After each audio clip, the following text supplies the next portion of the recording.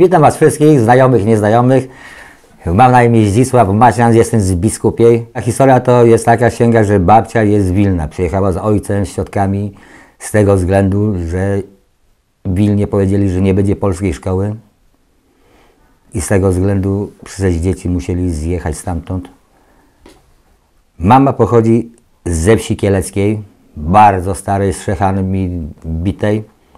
Tu się spotkali. Mama tutaj osiedliła się w 56 roku, w 54 przyjechała szukać pracy. Tam było bezrobocie, bieda, więc wystartowała właśnie na Gdańsk. Ojciec też w Sto Stoczniowiec.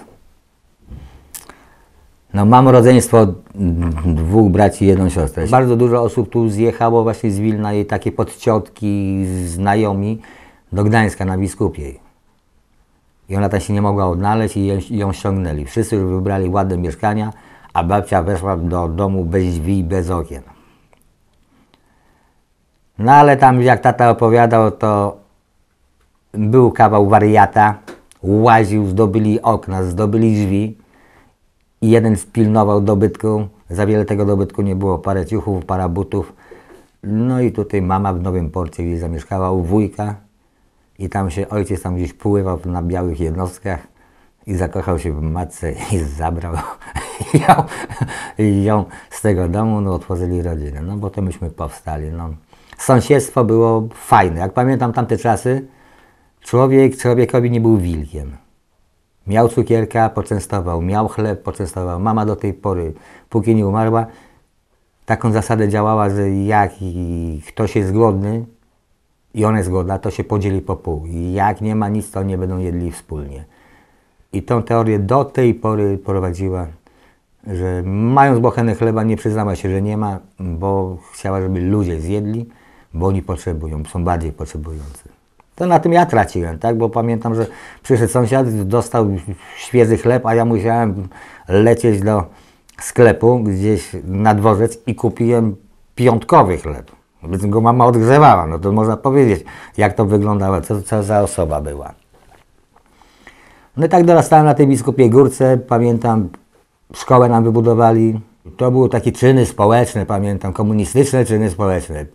Przynieść makulaturę, przynieść złom, i to raz w miesiącu, czy dwa razy w roku wszyscy kradli, ja przynajmniej z kolegami, z biskupie żeśmy chodzili na PKP, na te tory, żeśmy kradli śruby, co się tylko dało, co się mogło unieść, żeby tylko zdobyć jakieś mistrzostwo, klasy w szkole. To było takie głupie, niepojętne, że w tej chwili to ja się z tego śmieję, że mogli mi zmanipulować tych ludzi. Bardzo często słychać było na podwórku, jak się otworzyło okno, Butelki szmaty, butelki szmaty. Człowiek nie chciał tych pieniędzy, ale chciał tą piłeczkę na gumce, dostawał kogucika i to już cieszyło, co byśmy mieli tam po 5, 7, 8 lat.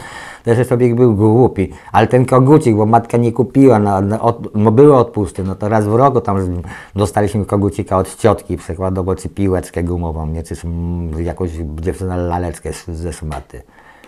Każdy chciał, każdy chciał kąpać się od maja do września każdy chciał. Radnia była płytka, żeśmy kopali wiadrami, żeśmy kamienie zbierali, żeśmy pogłębiali, pogłębiali, żeśmy ryby łapali, piskosę. Ojciec chodził na ryby, myśmy mu raki z, wyciągali, piskorze, kiełbiki żeśmy łapali. No, policja nas zgoniła prawą stroną, myśmy wyskakiwali lewą stroną, ale to już było wagary były, nie? Żeśmy uciekali ze szkoły, tam jakiejś lekcji niepotrzebnej lub nielubianej. To żeśmy szli tam bardziej za Orunie i tam żeśmy się właśnie kąpieliska. No do nas policja ganiała, no ale że most był bardzo daleko, no to kazali nam wyjść. No to my po drugiej stronie. A oni samochód pojechali tam, my w drugą stronę. No mówię tak, trzeba uciekać, bo zaraz będą z dwóch stron. I żeśmy tak zmiatali. żeśmy się bawili w kotka i myskę. Tam się schodzi od szkoły, tam był most. I tam żeśmy sobie robili kąpielisko. I na zaroślaku drugie było. No i dużo na ryby chodzili, nie? na te bastiony. To też, no ja lubiałem, kochałem ojca, ojca okradałem zawsze z wędek i szedłem na wagary, wędki pod, już były pod, pod schodami w piwnicy, w tornistrze zostawiałem, brałem wędki. No ale miałem takiego pecha, żeby sobie policja przywoziła. z ryb do domu, 50 zł mandatu, w pierdy od ojca, i, ale to bicie dla mnie to nie sprawiało żadnego wrażenia. Ja mogę dostać. Jak coś fajnego zrobiłem. Tak żeśmy wracali na tym podwórku i żeśmy wymyślili, że byśmy chcieli mieć swój klub. Nam nikt nie pomagał, nie było takich kółek osiedlowych jak w tej chwili. I żeśmy otworzyli na biskupie, na Salwatorze, wejście było, piwnica była. I my całą gromadą biskupia Górka, trochę stoku, zaroślaku, żeśmy odkopali tą piwnicę. To wy, wyjechało stamtąd 5-6 multikarów gruzu, ziemi, szmat. Otworzyliśmy to. Był taki pan Pilch, policjant, wprowadził się w latach 70. Ich synowie chodzili do naszej szkoły, ja z jednym z nich. To był taki nam opiekunem, nie pozwalał, żeby ci starsi ludzie, chuligani, to żeby chuligani, można powiedzieć, że zawsze były chuligani i będą, że nam, tam nas nie demoralizowali, nas nie bili, nam nie, nie, nie, nie przebywali tam niepotrzebnie. Zrobiliśmy ten klub, zro- zrobiliśmy stoły fajne, fajne krzesła, były dyskoteki, puszczaliśmy fajne muzyki Beatlesów, jakichś tam smoków. Ktoś przyniósł, ten, przyniósł um, odtwarzacz, radio, no radio może nie, ale jakiś tam odtwarzacz. Coś tam, ktoś jakąś płytę, ktoś tam jakąś kasetę. No się przyprowadzało, panienki, chłopaki przychodzili. I to tak kwitło, kwitło, kwitło.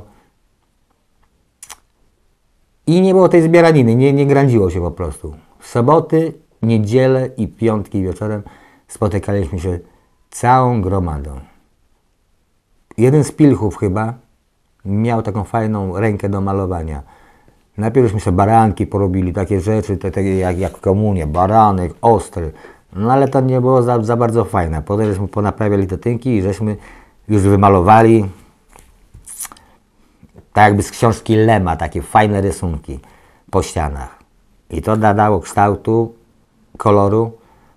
Także o tym klubie się dowiedziało pół Gdańska i bardzo dużo osób przychodziło też właśnie z Gdańska, żeby tutaj się pobawić, żeby porozmawiać, żeby wypić.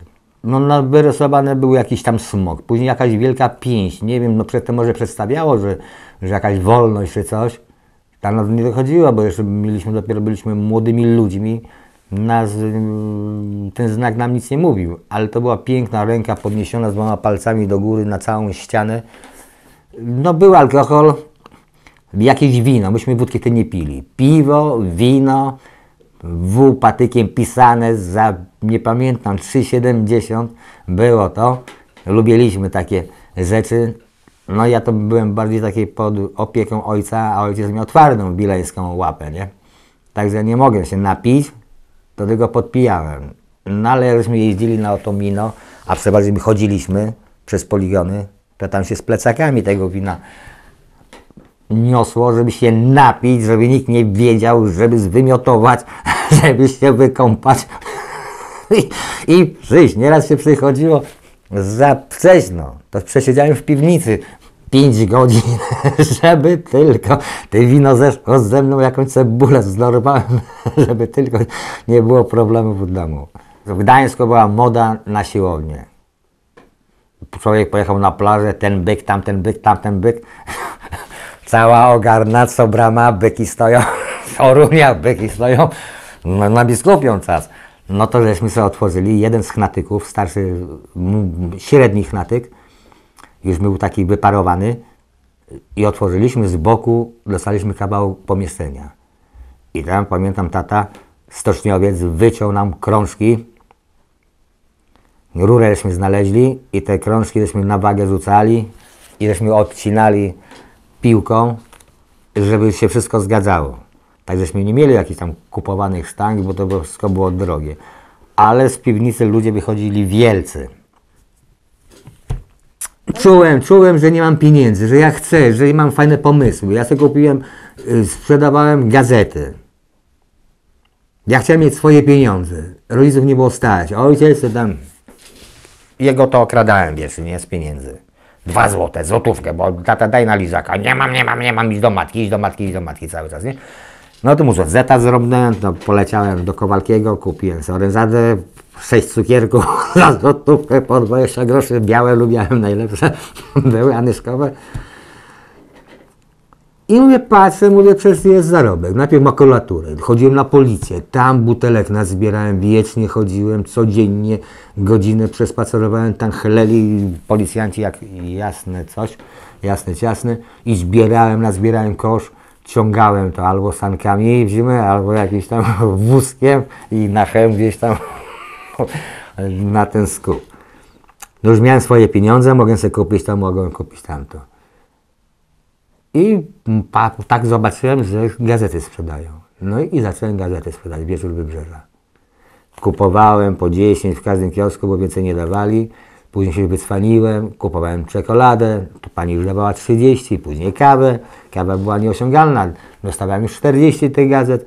Od kiosku do kiosku i tak biegałem, dopóki mnie mama nie zobaczyła, na dworcu. Ojciec poszedł ją odprowadzić, zobacz, co swój syn robi, sprzedaje gazety. I bursztyn kopałem. Jeździłem na pola, po nocach grzebałem w patykiem, po plażach, można było znaleźć, jak się chciało, to można było znaleźć. I te pieniądze do mnie chciały się lgnąć. Ja już byłem bosem. Ja kupowałem sobie papierosy w Peweksie. Kupowałem sobie ciuchy, sobie kupiłem w Peweksie. Pamiętam, 8 czy 10 dolarów kosztowały spodnie. Pojechałem na plażę. Wróciłem w majtkach, ukradli mi spodnie. W pierdy dostałem. Ja mówię, ojciec, po co mnie bijesz, to moje pieniądze, ty mi nic nie dałeś. Później kupiłem następne sobie ciuchy, lewi, lewi, le, lewisy. Wziąłem pomeksu, wytarłem te spodnie, pociąłem, tutaj po, robiłem po naszywki takie żółtą nicią, może to było widać. Ojciec wraca z działki, zobacz, jak lump twój syn wygląda, nie? A teraz by wszyscy mają podarte spodnie, ktoś na tym dobre pieniądze zarobił, ja mogłem wtedy jakieś, żeby nie ojciec mi nie lał, tylko powiedział, chodź synu, może ci kurtkę porwać, tak? I ktoś by miał oczy zobaczył, może ja by był tym prowadzącym na cały świat modą, tak? Po obiedzie spotykaliśmy się na rogu, tym na rogu i żeśmy szli na ochapę. To były najcudniejsze chwile. To przyjeżdżało z Polski zawodowy hufiec pracy. I tam u góry były takie boiska i tam właśnie po, na, po, w namiotach stawali, chodzili do pracy i myśmy tam zajeżdżali po południu. No i tam dziewczyny nam się podobały, myśmy też byli fajni chłopaki, nie, to też musieliśmy się podobać. No i tak, w Bustoku przychodziła cała biskupia, co biskupia to cała garderoba, nie? No i hełm, no bo to wszystko w okolicach. No i tam dochodziło i do bujek, i do picia. Siedmiu policjantów przyszło w dresach chcieli nam panieny zarywać. No to dostali baty z hełma i z biskupiej. Ale cały tydzień już nie mogliśmy się pokazać, bo ci sami, cały czas ci sami w mundurach, w morach już łazili i mu jak poznają, to pozabijają nas, nie? Także żeśmy sobie odpuszczali takie momenty. No ale tydzień czasu minął, odpuszczane, skończył się rok, na drugi rok to już nikt nikogo nie, nie pamięta, było fajnie. Akordeon to pamiętam jak dzisiaj. Też nie dawał mi spokoju. Nie mogłem spać, nie mogłem jeść, płakać mi się chciało, nie chciałem grać. Ja nie miałem żadnego zamiłowania do muzyki, bo wiedziałem, jak dostanę akordeon, nie mam plaży. No i na imieniny przyszła, mamy koleżanka z synem, ten zagrał kozaczka, pięknie zagrał. On już nie żyje, tam starszy ode mnie może o 6-7 lat. No i tak się rodzicom spodobało, że mówi, dzisiaj będzie grał na akordeonie. No i zaprowadzili naszą trójkę do, do takiego koła muzycznego Gdańskie Kuranty. Bardzo modne. Ten zespół wy, wyprowadził pięć, pięć pokoleń muzyków. I byle co grałem. Ale ojciec słyszał, już był zadowolony, nie? I tak latami, latami, latami i w pewnym momencie, tak po 3-4 latach, lato, słyszę muzykę włoską. Wziąłem akordeon, ja gram, mówię. Ja mam talent. I tak zacząłem sobie puszczać muzykę. No i takie było ładniejsze, y, tę muzyka łatwiejsza to była, ogarniałem. Parę lat graliśmy, żeśmy wyjeżdżali, myśmy brali koncerty w Polsce, były takie mm, banki miast, coś w tym rodzaju, rywalizacja i myśmy z Koszalinie, pojechali do Koszalina, jako rywalizacja, tam były jakieś takie różne rzeczy domowe i my jako zespół. I myśmy grali. Graliśmy też w radio, nas nagrywali. Była taka dziewczyna, nie pamiętam na imię, ona, ona na, grała na fortepianie i ja na kordonie. I ją było słychać. Ona była starsza ode mnie, była ładna. I Boże, to moja dziewucha i zakochałem się w niej. No ja otwierałem okno i wtedy grałem. Pamiętam czerwone gitary. Wszystkie kawałki, nuty ściągałem gdzieś z, przyjaciółki, z jakiegoś czasopisma. Siedziałem i rozgrywałem te nuty i później siadałem i grałem. Później, zresztą się spotkali po latach i właśnie jak ten klub, co mówię, wtedy wszystkie zespoły przyjechały, ona tam była. I ona mówi, pamiętasz jak żeśmy sobie grywali, jak ty w oknie siedziałeś, grałeś dla mnie? ja mówię, pamiętam. Tylko chyba chciał, duchem chciałem być i tam być. Poszedłem do wojska, byłem kierowcą dowódcy, to dopiero dostałem wyciski, ja muszę biegać, bo będzie wojna, ja muszę informacje zanieść, bo coś tam, ja muszę być silny, bo jak samochód będzie tonął, to ja mam go wyciągnąć, więc kulturystyka. I tak, i, i, później pływanie, nie umiałem pływać, to zapisali żebym nauczył się, bo ja jestem jego kierowcą, więc jak będzie samochód tonął, to ja mam go wyciągać. Wszyscy szli spać, odpoczywali po obiedzie, a ja musiałem ganiać co 3 kilometry. Pamiętam stan wojenny, gdzie o godzinie 3.45, pamiętam, żeśmy wtedy pili na kompanii, graliśmy i żeby się znarkotyzować, to żeśmy brali gaśnicę teterowe z samochodu i żeśmy sobie na czystą nocę żeśmy wlewali, żeśmy wąchali była bajka. Trochę żeśmy w pokera grali i to raptem budzę się trzecia z groszem, wszyscy biegają, krzyczą wojna, wojna. Ja mówię, coś nienormalnego jest. Ja patrzę, szef se siedzi, rozwydaje broń i ostra amunicję, nie? No i tak żeśmy sobie jeździli i żeśmy chodzili na patrole. No, żeśmy chodzili z ZOMO. Jednym chodnikiem. To myśmy się bili. Tamci nie chcieli nas przepuścić, my ZOMowców. I wojsko się biło z ZOMą. To trwało może z tydzień, dwa. No to ZOMO chodziło prawym chodnikiem, wojsko lewym chodnikiem. I tak żeśmy się mijali z jakiś tam jak fakiusem dla nich, nie? Brat mówi, ty byłeś w wojsku, ty tam nic nie widziałeś, chodź zobacz jak tutaj w Gdańsku walczą. I poszliśmy sobie na ulicę do Sobieskiego. Stoimy, ludzie skaldują, armia gliniarzy, zomowców stoi i nas pogonili. No to nas pogonili do kościoła. Ale kościół nie, prawie że pękał, nie wszyscy, no to tam byli obijani ci, co nie weszli. No ale godzina czasu, żeśmy się, już musieliśmy się ruszyć, patrzymy, jedzie skot koło piwnej, koło mu się pali. Ja mi trzeba uciekać do domu. I tak sobie idę do domu, już jestem na tym tunelu na Biskupiej, patrzę trzech zomowców stoi. O Boże, będzie przeprawa. Dzień dobry, dzień dobry, gdzie byłeś? Bach w mordę. Ja, ja tu mam delegację człowieku, ja tutaj dziewczynę odprowadzałem. Bach w mordę. I w pewnym momencie jedzie nyska policyjna. Ludzie się rzucili, wywrócili ją na kołach. Ona przyjeżdżała, ledwo, ledwo jechała, bo tam trochę tych ludzi stało. W 8-10 ludzi tą nyskę przewrócili. Ten policjant przerażony wyskoczył, chcieli go bić. Ale ktoś krzyczy, nie bijcie gliniarza, nie bijcie gliniarza. No i to, to nikt nic nie myślał. W tą nyskę podnieśli, spuścili paliwo, wleli do środka, popchnęliśmy ją na tą skarpę i żeśmy puścili z ogniem. I ta nyska jest właśnie na tym zdjęciu. Jak oni ruszyli, jak oni to zobaczyli, jak oni ruszyli, to jest... Trzeba było znikać, tylko krzyczą z dzichu, tylko nie na strych, nie na dach, do domu. No mieszkaliśmy na mieszkaniu babcia, tata, mama ja, brat, brat i siostra, a więc siedem osób żeśmy mieszkali na tym, no to nie był duży metraż, jeżeli powiedz, przeliczysz na 7 osób. A więc ktoś musiał z kimś spać, tak? My dzieci z babką, rodzice tam z córką, czy z jakimś tam synem. No wspólna kuchnia. No jedna łazienka.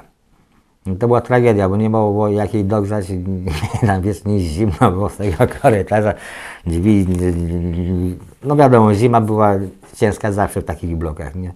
Bo to było dawno nie, nie remontowane, w 64 byłoby remontowane to tak do tej pory nic nie było zrobione. Nawet tylko piony porobili jakiej remont. Do końca mieliśmy piece, bardzo dużo ludzi zlikwidowało, ale ja dla tych piecy bym sprzedał dusę. Lubiałem, chociaż w tej chwili, za 10 lat, może bym klnął. Nie ze względu, że ten, nie ma koksu, nie ma węgla, tylko te noszenie. To trzeba się zorganizować. Ja pamiętam, jak mama idzie zima, to ona musiała tak, ja muszę odłożyć po 200 zł z wypłaty, żeby kupić dwie tony węgla. No i tak wkładała gdzieś, to wkładała, ojciec mi daj na działkę, ona mi nie ma, jest na węgiel. Tam gdzieś drzewo się zorganizowało. Ale pies to jest pies. Napaliło się. Ile, do, ile znajomych do mnie przychodziło, to żeśmy sobie siadali i żeśmy pili drinki. Nie przy stole. No właśnie w popielniku. Żeśmy otwierali, wrzucaliśmy drzewo i tam i żeśmy przy tym siedzieli. Bardzo dużo osób. Przynajmniej u mnie, nie? Bo dużo ludzi nie miało już piecy, było zlikwidowane. Ale to takie miłe wspomnienie. Tutaj siedzę i co? Nikt nie zapuka. Nikt nie przyjdzie z piwem. Nikt nikogo nie zna. Nieraz niektórzy co dzień dobry nawet nie powiedzą. Uwalniali mieszkania. Pisaliśmy petycję, że my też chcemy do, należeć do spółki, że, że my też chcemy wykupić mieszkanie. Tłumaczono nam, że to jest prywatna kamienica, właściciel w Niemczech. No klepali. Nie, nie, nie remontowali nas, myśmy klepali wielkie czynsze, mniejsze niż te wszystkie spółdzielnie. Do pewnego momentu, jak przyjechał ktoś z Niemiec, spadkobierca. I trwała sprawa trzy dni, trzy, trzy, przepraszam, trzy lata i ten człowiek umarł. I budzimy się pięknego grudnia, jest kartka napisana. Proszę być w domach, nowy właściciel się zjawia i prosi o, o, o bycie w domach. No żeśmy usiedli, co się dzieje. No przyjechało trzech młodych ludzi i mówią, to jest właściciel, to jest pan adwokat, a tam jeszcze ktoś. I że oni kupili od miasta, on, on jest właścicielem tego mieszkania i nam proponuje, żebyśmy nie, ma, nie matali nic, nigdzie nie chodzili, to do czerwca, czy tam tak, do czerwca y, nie będzie żadnych podwyżek, nic nie będzie się działo. To my mówimy, o Boże, znowu Warszawa, Poznań, Łódź, co się dzieje, kto chce, się, kto chce nam zabrać te mieszkania, bo później by były czynsze, później obcinanie rur. No i tutaj mama se posiedziała, zaczęła tęsknić. Ona gdzieś pójdzie, wychodziła gdzieś do sklepu. Już nie mogła wrócić. Jakoś dostawała już takiej tej, tej yy, no, zaniku pamięci. I tu siedziała mi, Boże, ona na biskupie stanęła, każdy dzień dobry powiedział, siatkę jej pom- ktoś pomógł. Ona była znana, ja ludzi nie znam, bo mnie nie było ze 30 lat w Gdańsku. Ludzie mi dzień dobry mówią, i, a do mamy to z szacunkiem. Siatki nosili, za rękę prowadzali. I ja mówię, mama, co to, co to za ludzie? Ja nie znam ani ich rodziców, ani nic. A on mówi, ja tutaj jestem wychowana. Także szacun dla nas, dla mnie przez mamę był ogromny przez tą młodzież. No i tutaj dostała raz ciśnienia, drugi raz ciśnienia. Ja to jej widziałem. Widziałem, że ona chce zawieźć mnie na biskupią. Ona pójdzie do ludzi, ona tam będzie pomieszkał kogoś. Ona nie wierzyła, że ja jej tłumaczyłem, że już dom tam rozwalili schody. Ona nie, ona tam pójdzie, ona nie potrzebuje prądu, nic, ona będzie tam mieszkała, bo ona tam chce. No i przez to się rozchorowała tutaj, dostała strasznego ciśnienia i aż się w szpitalu znalazła. Wiadomo, starych drzew nie przesadza.